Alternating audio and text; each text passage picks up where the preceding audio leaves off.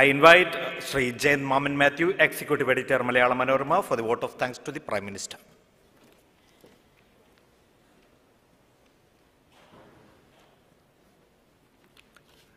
Respected Prime Minister Sri Narendra Modi ji, Manorama News and the Malayala Manorama Group are deeply indebted to you for inaugurating the Manorama News Conclave and for unveiling your vision of New India before us. You have spoken from the heart with utmost sincerity and conviction, and you have inspired us with your vision about making India a great nation. We deeply appreciate your views on accepting everyone's thought process and constructive criticism.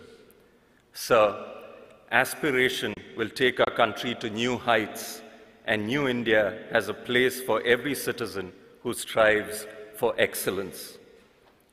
We greatly appreciate your far-sighted initiatives for reducing the use of plastics.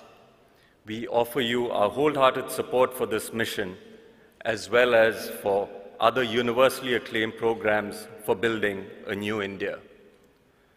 So we once again thank you for inaugurating the conclave and the kind words you had for Kerala and Manorama.